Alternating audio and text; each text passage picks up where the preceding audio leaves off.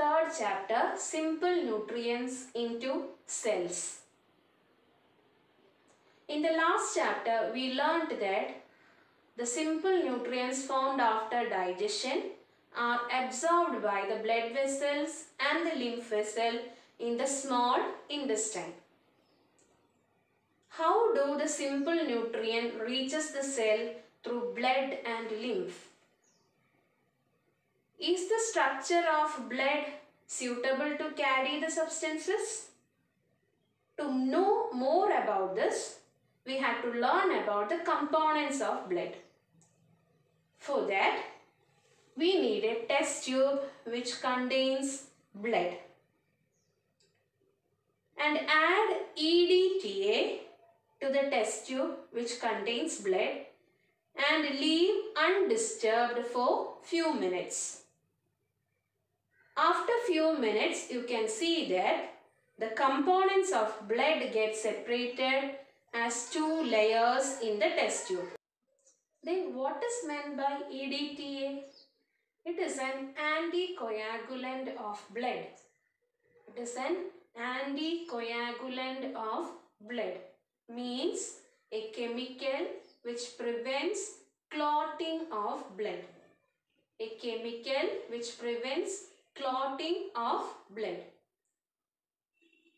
The full form of EDTA, it is ethylene diamine tetraacetic acid.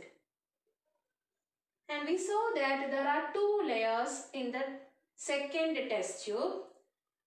Lower layer contains dark red in color which shows the presence of blood cells. And in the upper layer we can see an yellow colored part which shows the fluid part of the blood known as plasma. About 45 percentage of the blood constitute the blood cell and the remaining 55 percentage constitute the blood plasma. Then we can learn in detail what are the different types of blood cells. Already in lower classes you have learnt about the different type of blood cells.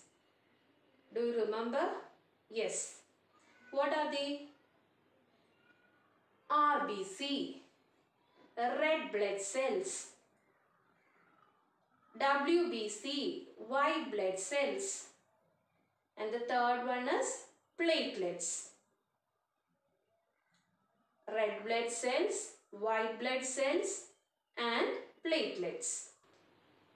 Even though blood cells perform various functions, plasma also play a major role in transportation of nutrients.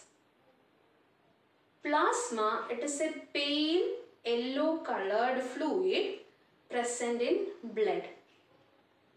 About 55 percentage of blood it is composed of plasma. The simple nutrients formed after digestion like glucose, amino acid, fatty acid and glycerol reaches the cell through plasma and the blood cells are present in plasma. Now let us see what are the components of plasma. The important components of plasma are water, plasma proteins and other factors. About 90 to 92 percentage of plasma it is composed of water and about 7 to 8 percentage of plasma it is composed of plasma proteins and the other factors like fat, salt, urea, hormones, sugar, etc. is also present. Now we will learn in detail what are the different type of plasma proteins and their functions. There are three different type of plasma proteins. They are albumin. globulin and fibrinogen. I repeat once again albumin, globulin and fibrinogen. Then we can see what is their function. Albumin regulates blood pressure. Globulin, it helps in defense. And fibrinogen, it helps in clotting of blood. Albumin regulates blood pressure. Globulin helps in defense. And fibrinogen, it helps in coagulation of blood or you can say clotting of blood. I hope that is clear. You all know that the blood circulates all over the body through blood vessels. Let us have a closer study about the different types of blood vessels. The first type of blood vessel it is known as artery. It is made up of thick, elastic, muscular wall. Thick, elastic, muscular wall. It carries the blood away from the heart. It carries the blood away from the heart. The blood always flows with high pressure and high speed. The second type of blood vessel, it is known as veins. It is made up of thin muscular wall. Is made up of thin muscular wall. It carries the blood towards the heart. It carries the blood towards the heart. Walls are seen inside. Walls are seen inside which prevent the backward flow of blood. Prevents the backward flow of blood.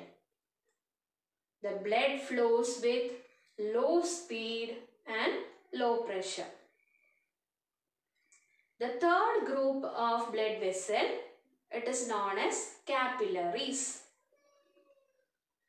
It is a fine blood vessel which connects both veins and arteries.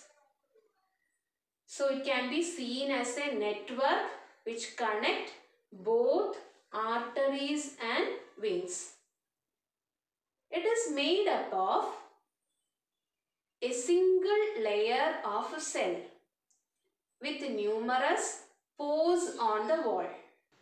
The wall of the capillary are made up of single layer of cells with minute pores on it. And the blood flows with very low speed and low pressure. So three types of blood vessels are there. Arteries, veins and capillaries.